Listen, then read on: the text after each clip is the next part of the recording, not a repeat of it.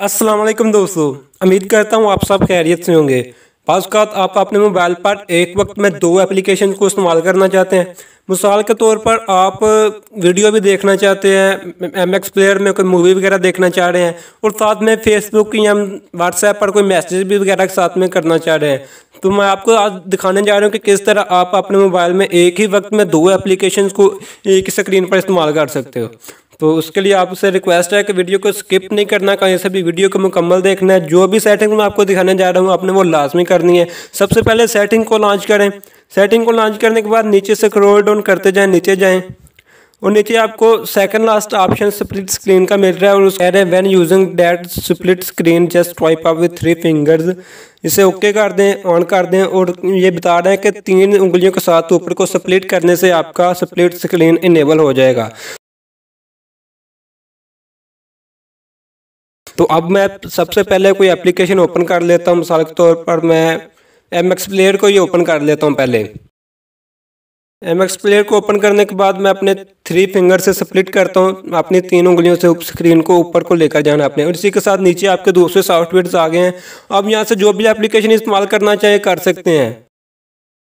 पहले व्हाट्सएप को ओपन करके दिखा देता हूँ। आप एक ही वक्त में ये दोनों एप्लीकेशन अपनी स्क्रीन पर इस्तेमाल कर सकते हैं होम स्क्रीन पर ही। ये देखें नीचे व्हाट्सएप भी काम कर रहा है, ऊपर वाला एम एक्स प्लेयर भी काम कर रहा है। अब यहाँ से कोई वीडियो प्ले करना चाहें और साथ में मैसेज करना चाहें, जो भी करना चाहें आप एक ही वक्त में कर सकते हैं। आप ये सेंटर में जो थ्री डॉट्स नज़र आ रहे हैं, इस पर क्लिक करके एक स्क्रीन को बड़ा कर सकते हैं और दूसरी स्क्रीन को छोटा कर सकते हैं। आप अपनी मर्ज़ी के हिसाब से मैनेज कर सकते हैं, अपनी ज़रूरत के हिसाब से। ये अब इसे ख़त्म करना स्प्लिट स्क्रीन को ख़त्म करने के लिए इसे नीचे से स्क्रॉल डाउन कर दें थ्री डॉट्स को पकड़ कर। स्प्लिट स्क्रीन को ख़त्म करने के बाद आपके पास पीछे एक ही एप्लीकेशन रहेगी, उसे आप बैक की से भी ख़त्म कर सकते हैं या होम की से वापस अपने होम पर वापस आ सकते हैं। अगर आपके एंड्रॉइड में ये सेटिंग नहीं है तो आपको मैं बताता हूँ दूसरा तरीका किस तरह आप अपने मोबाइल में ये सेटिंग इनेबल कर सकते हैं।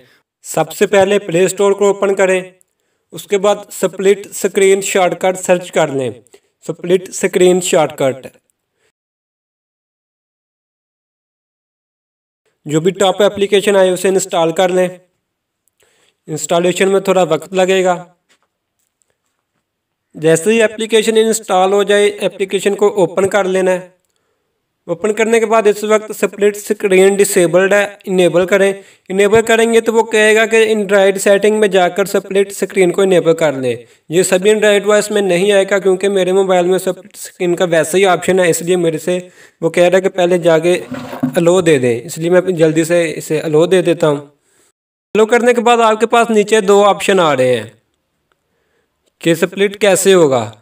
होम की को लॉन्ग प्रेस करने से, बैक की को लॉन्ग प्रेस करने से, या मेन्यू बटन को लॉन्ग प्रेस करने से। इस वक्त मेन्यू बटन लॉन्ग प्रेस करने से सिलेक्ट है। तो फिर हम मेन्यू बटन को लॉन्ग प्रेस करके स्प्लिट कर सकते हैं।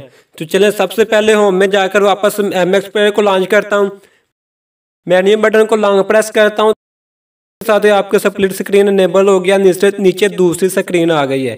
इस वक्त आप कोई भी दूसरी एप्लीकेशन इस्तेमाल कर सकते हो। उम्मीद करता हूँ आपको ये वीडियो पसंद आई होगी। अगर वीडियो पसंद आई है तो लाइक करें और चैनल को सब्सक्राइब करें।